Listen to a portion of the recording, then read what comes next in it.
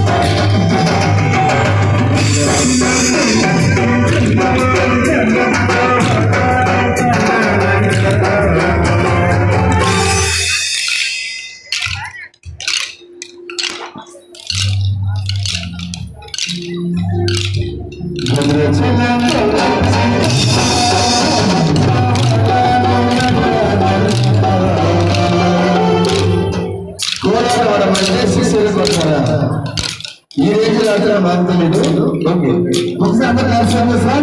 ಸ್ವಾಮಿ ಸ್ವಾಮಿ